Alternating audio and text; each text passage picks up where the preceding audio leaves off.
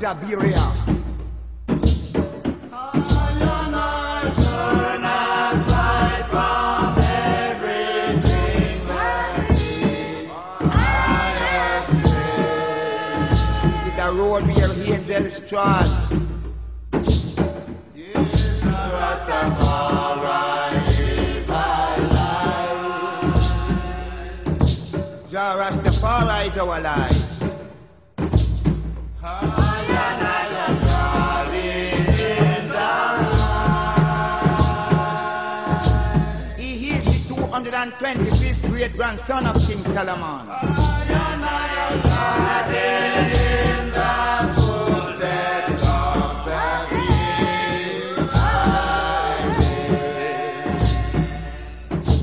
Second 19 verse declare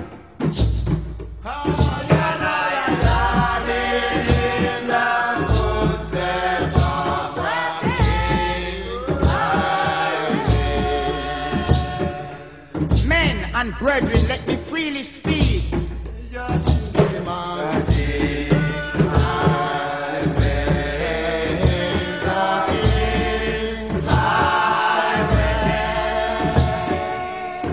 David the prophet.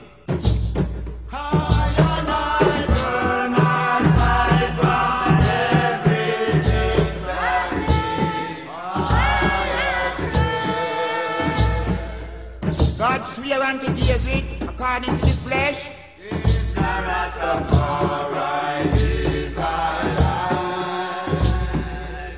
Through his lineage.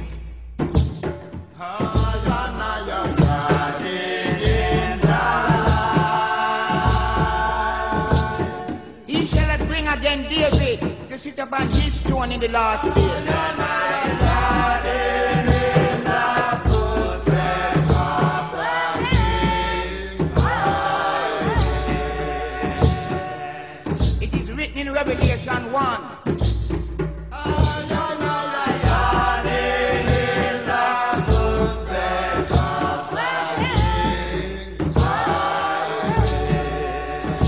Am the root of David and the bright and morning star.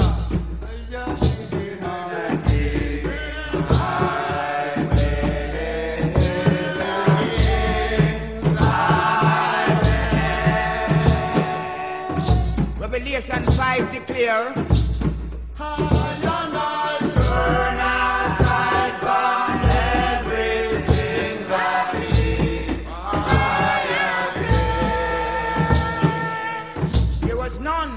Worthy to walk the seven seals.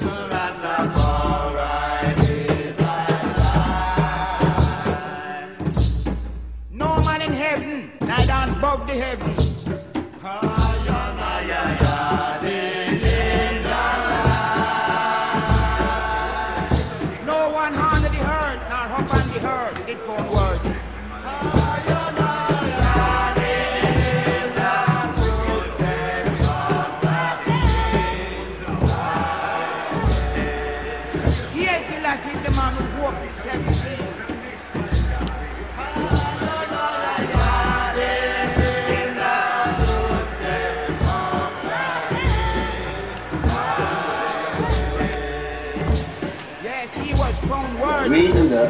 Materiële en geestelijke vooruitgang zijn essentieel voor de mens. Daarom moeten we onophoudelijk werken voor de gelijke bereik van beiden. Pas dan zullen wij in staat zijn om dat absolute innerlijke rust zo noodzakelijk voor het verwerven van onze welzijn bereiken. Telkens wanneer conflict ontstaat tussen materiële en geestelijke waarden, is het geweten zeer belangrijk in het spel. En het speelt een zeer belangrijke rol. En ieder die lijdt aan onschuldig geweten is nooit echt vrij van dit probleem. Totdat hij vrede maakt met zichzelf en zijn familie. Als je hem in het Nederlands hoort, is het zo, zo mooi, hè? Oh ja, ja. Ik ken hem alleen van het Engels, maar Het lijkt, het lijkt alsof die tien keer zo krachtig is. eh. Jawel, jawel, jawel.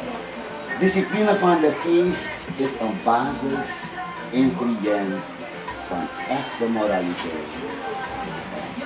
Dus van geestelijke kracht, geestelijke macht is het eeuwige in dit leven en het leven na. Want de mens behoort tot de hoogste onder alle schepselen. Leiding naar voren door kracht kan de mens bereiken tot die bestemming worden. Door de schepping van de grote schepper. Selassie. hij. hebben een groot probleem.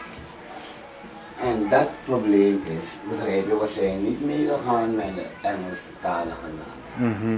Begrijp je? Want uh, doordien er meer landen Engelstalig zijn, dan de bewustwording en de bewustwording verkondiging, die heb je meer van Engelstalige leiders. En uiteraard, ze zijn gaan studeren, dus ze hebben ook heel wat boeken geschreven. Om je bewust te maken wie je eigenlijk bent en hoe of wat. Alle jouw geschiedenis hebben ze voor jou eigenlijk gestudeerd. En maar stukken, dat is aan dat. Maar die Engelse talige, daar heb je alles. Dus zodoende heb ik een paar dingen hier gezet samen vanuit verschillende boeken. Om één, één te maken voor wat eigenlijk Ras, Rastafari eigenlijk inhoudt. Wat is de geschiedenis van Rastafari? Ik kan het wel vertellen, maar het zou prettiger zijn als ik het zou lezen hoe het is op een rijtje. Ja? Zou je dat goed vinden? ja, is goed, prima. Oké. Prima. Jullie hij Selassie, King Rastafari, Kadamawi hij Selassie. Atru meka de dat ala woord usami echako na doro, de accept na usami. Kami na de misle nami. Wanneer wij de ontstaan geschiedenis, dan praten wij over historische geschiedenis van Rastafari moeten beschrijven, heeft Rastafari geen begin en geen einde. Voordat er een wereld was, voordat er generaties waren, duizenden jaren, millions of years voor Adam en Eva. En het is gegroeid van generatie tot generatie, van kind tot kind. En zo zijn wij in deze tijd van zijn majesteit, Imperial Kalamawi Selassie, die teruggekomen is als een Messias, King of Kings en Lord of Lords, verlosser van de wereld. Kadamawi. Selassie. Fossiele vondsten wijzen duidelijk naar Afrika als de plaats van oorsprong van de mens. Fragmenten en andere botten die zijn gevonden in de Olduvai-vallei in Oost-Afrika hebben archeologen tot de conclusie gelegd dat de eerste Homo erectus daar zo'n 1,5 miljoen jaren geleden over de grasvlakten op deze Afrikaanse plaats van oorsprong zou de mens zich in de loop van talloze generaties over de hele planeet verspreiden. Dus wanneer men praat over Homo erectus, dat we over dat kan eerst aan Sabine op ook naar Boulekwanibisme. Lawan, die Bisma. Begrijp Ja, ik ja, jawel. Oké, Rastafari. Genetisch onderzoek van menselijk DNA afkomstig van tal van rassen en etnische groepen opperen sommige wetenschappers dat de oorsprong van de gehele mensheid teruggaat op één enkele Afrikaanse vrouw. Lucy. Als je eerst Michel merkte op in het jaar 1989 in dit verband op. Eva was een Afrikaanse geweest. Mhm. Rasta is een levenswijze. Voor de uitvinding van borstel en kam had een ieder dreadlocks. Lang haar. Dreadlocks is de oorsprong van de mens. Ook de Bijbel is een Afrikaanse boek, bevolkt door zwarte mensen. Niet wit als men ons heeft doen geloven. Rasta was eerst een zwarte beweging. De Europese ras kwam uit Noach's zoon Javed na de zondvloed. De Afrikaanse rassen van Ham en Sam. Rastas hebben een link met alle religies. Ethiopië heeft als eerste land het christelijk geloof aangenomen. Dat was in de 4e eeuw, begin Christus. Fermentus was de eerste bischop van Ethiopië. Rastas zijn geen christenen.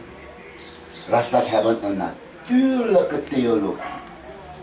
Rastas die zich geroepen voelen door deze geloof zijn geheime natuur en hebben onderzocht hun eigen persoonlijke transformatie, de ontwikkeling en groeipopulariteit van de Rastafi wereldwijd is het teken van een mystieke dimensie in Rasta.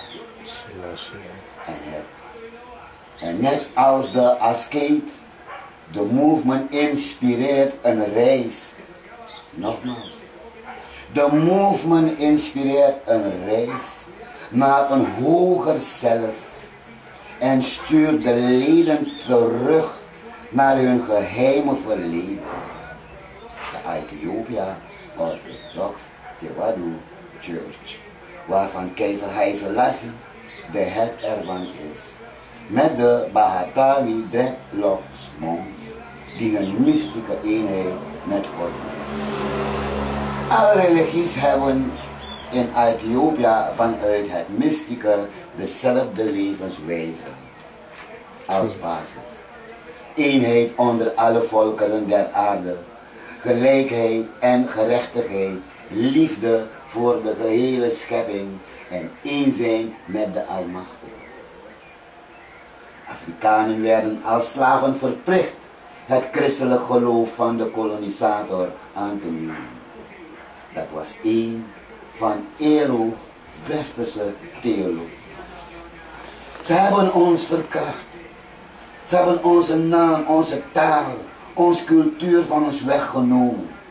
Ze hebben ons leven en ons heel bestaan vernietigd met Ero westerse theologie.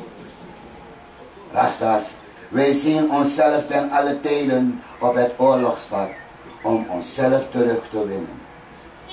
Rasta verwijst impliciet en expliciet naar het verleden. De geschiedenis van Rastafari begint met de kolonisatie van Afrika door de Europeanen. Daarom praten Rastas over een historische geschiedenis. Rastas werden meer bewust in Jamaica toen de Hindustanen in het jaar 1845 als contractarbeiders kwamen. Mochten zij een klein deel uit het land van herkomst meenemen. Ze namen hun cultuur en religie mee. Wat de Hindustanen meenamen had heel veel invloed op de ex-slaven. Waarom? De ex-slaven voelden zich helemaal niet prettig in de religie van 1734, toen de eerste christelijke missionarissen naar Jamaica kwamen. Het waren Leonard Percival Howard en Hibar, die gingen de boeken van de Hindustanen, hun god Rama, Krishna en Boeddha bestuderen. Ook spraken ze met de Hindoes over wie de goden waren. Hibar en Hinds kwamen tot het bewustzijn dat als de Hindoes zijn God ziet in Rama Krishna en Boeddha, de moslim zijn God in Allah, de christen zijn God in Jezus, dan moeten wij terugblikken naar Afrika om ook een godspersoonlijkheid te vinden. Het was Marcus Garvey, een burgerrechtenactivist, die in het jaar 1914 de profetische woorden uitsprak om te